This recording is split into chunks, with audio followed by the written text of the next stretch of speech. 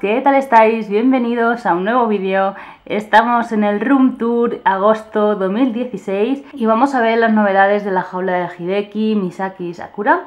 Y bueno, por ahí arriba tenemos la jaula del conejo U, que ahora la veremos al final. Y vamos a empezar. Bueno, ahí en el lateral podéis ver a Hideki porque claro, es mucho más cómodo salirse de la jaula, subirse a eso para comer, y no desde ahí que dentro de la jaula. O sea, eso es lógica de, de, de cobaya. Lo hace mucho, cuando pongo el heno ahí lo hace muchísimas veces. No solo lo hace él, pero él suele hacerlo mucho más a menudo que las hembras. Y bueno, vamos a empezar por el piso de abajo, donde están estas señoritas. Este mes he hecho como múltiples plataformas, por así decirlo. Ahí veis a Sakura que está encima del recipiente este que reciclé hace un par de meses. Y como veis, eh, servía de cueva, tiene dos entradas. Una es esta, por la que ha pasado Misaki, y otra es por allí, por el lateral, ¿vale? Por, precisamente por donde ha salido. Entonces simplemente aquí arriba lo que tiene es una toalla. Ya se ha asustado. Raro verá que no se asustase ya. Nada, simplemente tienes una toalla, porque como se subían un montón, pues para que estén cómodos, así que creamos como un pisito más y, y les viene genial. La cueva la utilizan un montón. Bueno, por ahí veis a la derecha que tienen el, una enera, ¿vale? Hecha con, las propias rejas, como otros meses he hecho.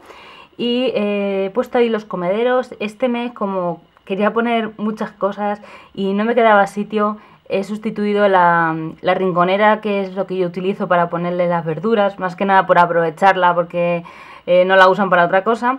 Eh, resulta que no cabía, entonces el recipiente rojo es el que les estoy poniendo las verduras y el verde es el del pienso, que es el de siempre, ¿no?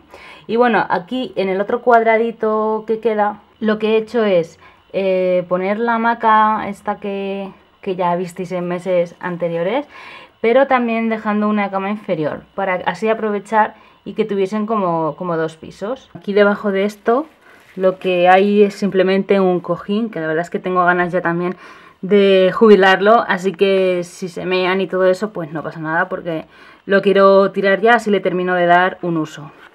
A ver, vamos a dejar a Hideki que quiere pasar. Pasa, Hideki, pasa. No, hace dos, dos, o tres días me dio un susto. Estaba ahí que no, estaba como estreñido, le dieron gases y bueno, ya al día siguiente estaba normal, ¿no? Pero me dio un susto el tío que no veáis. Ya los que me seguís por Twitter e Instagram ya lo sabéis porque lo publiqué y eso. Pero que vamos, que ahora está perfectamente y bueno, con lo del acceso sigue más o menos eh, peleándonos. Seguimos con el tema. Y bueno, vamos al piso de arriba. Y eh, les he puesto una camita eh, así bastante grande con un escaloncito. A ver si os los puedo enseñar, porque claro, estoy aquí con la luz para que veáis más o menos cómo, cómo es y tal. A ver si me apaño para enseñaroslo a la vez. Bueno, a ver si ahora podemos. He modificado también un poquito la ISO. Lo que tiene debajo de esto es simplemente un cajón de frigorífico que hacía ya varios meses que no utilizaba. Eh, cuando desmontéis un frigorífico hay varias partes de él que podéis utilizar, así que pues antes de tirarlo, pues eh, pensarlo bien. Aquí como es un poquito alto, lo que hice fue ponerle esta cajita de, de fresas, de estas cuadraditas, que estaba utilizando para otra cosa y ya no. Entonces, bueno, le puse la telita, entonces la utilizan también para subirse. Pues tienen así como una plataforma que les ayuda a entrar aquí dentro, pero esta plataforma la utilizan casi más que la camita. Bueno, en esta esquina hemos vuelto a poner eh, la casita esta de, triángulo, que bueno, les gusta un montón, se pelean por ella. Este mes he vuelto también a recuperar el pasadizo este casero que les hice ya hace también un montonazo de tiempo y creo que les también les ha, les ha gustado bastante que lo recuperase. Y en este lado lo que he puesto es la casita fresa en la que Sakura pasa muchas horas metida, ¿verdad chiquitina? ¿Eh? Y bueno, ahí como veis está el bebedero para que no mojase la camita de abajo. Eh, se lo he puesto ahí. Y bueno, más o menos este es el room tour. Voy a enseñaros ahora a Huguito que está arriba, que seguro que más de uno tiene ganas de verlo. Y nada, como veis estos aquí tranquilamente, mis aquí arriba, Hideki por ahí abajo. Y esto ya, aunque esté grabando, aunque esté aquí con la luz a ellos les da igual, están ya acostumbradísimos. Y bueno, por lo demás van genial, salvo las cositas estas de Hideki, por lo demás van estupendamente. Mira, esta Sakura ahí dentro. le gusta muchísimo, como quiere estar siempre escondida, le gusta un montón ese tipo de casitas así, que puede estar escondida y todo eso. Es la que más, la que más lo disfruta, la verdad. Y bueno, ahí tienen por supuesto la camita de cocodrilo que la utilizan bastante. Aquí podéis ver la casita de Hugo, su nueva jaulita. ¿Qué pasa? ¿Qué quieres? ¿Merendar o qué quieres? ¿Eh? Se pasan así todo el día chillando los tíos por pedir comida, como si estuviesen muertos de hambre.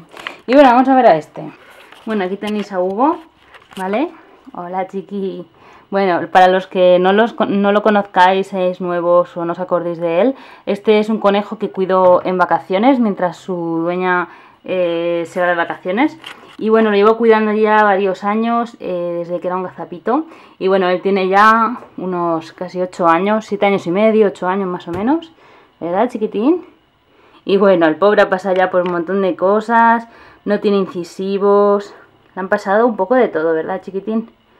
Pero bueno, es muy bueno él. Es súper, súper bueno. Y nada, no lo estoy juntando con las cobayas porque aunque va a estar aquí unas tres semanas, eh, creo que no merece la pena el estrés para, ni para las cobayas ni para él. Si se fuese a quedar y eso sí, pero como tampoco es necesario, pues eh, prefiero no juntarlo. Lo que hago es soltarlo a él eh, varias veces al día, lo dejo unas horas fuera para que pueda correr por toda la casa y cierro la puerta de, esta habitación. Entonces un poquito evito el contacto entre las cobayas y él, aunque comparten suelo de la casa, por así decirlo. Eh, también más que nada por, eh, por ejemplo, su ojito, que ahora lo tiene mejorcito, pero le suele llorar. La veterinaria parece ser que mm, cree que es de una raíz de, de un diente que le presiona, como le pasaba a Quintaro, pero por si acaso pudiese ser algo contagioso, pues prefiero tampoco exponerlo porque son tres semanas, no merece la pena tampoco. Y bueno, ya veis que es súper tranquilito, que le gusta un montón que, lo acaricie. Ya veis que este año está, está bastante bien, fijaos qué brillo tiene, que el año pasado estaba malito, pero fijaos este año que está, que está muchísimo mejor, vamos. Tiene alguna cosita, pero nada, poca, poca cosita. Y nada, seguro que de uno me vais a decir que adopte un conejo, que no sé qué.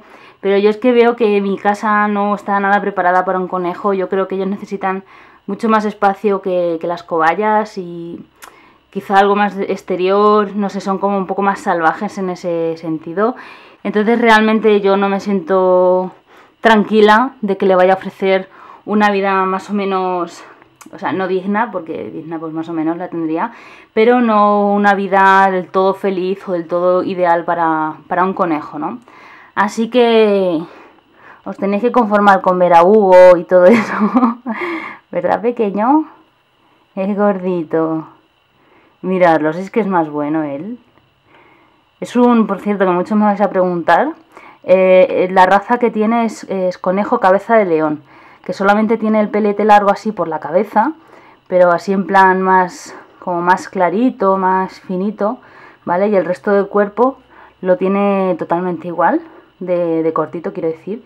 Y fijaos las orejitas también que son cortitas, son conejos de estos enanos, ¿vale? Pero la, su raza es eh, cabeza de león. Y bueno, con esta imagen aquí del gordito, bueno, gordito por decir algo, que por cierto eh, sigue bajito de peso, como todavía está luchando con la infección dental, eh, que bueno, ya le sale muy poquita pus y hemos cambiado de tratamiento varias veces. De hecho, el estreñimiento que tuvo hace unos días fue por una pequeña subida que hicimos de, esa medicación. Hemos tenido que retirarla y, era volver a reintroducirla para dejar que su aparato digestivo eh, descansara un poquito. Y bueno, realmente eso, sigue con una infección y claro, eh, necesita tomar muchas calorías para poder luchar con la infección y encima engordar, ¿no? Pero bueno, que él está muy animado, como veis os da la espalda. Oye, Hideki, con lo que se preocupan ellos por ti, cariño. bueno, pasa, yo creo que pasa más de la cámara, la luz. y es que como siempre estoy aquí con una luz porque como hay tan poquita luz en esta habitación, si no, no veríais, no veríais nada. Hola, Vania. Y bueno chicos, si os ha gustado, entretenido este vídeo, darle a me gusta, no olvidéis suscribiros para más vídeos y nos vemos en el próximo. Hasta luego, adiós.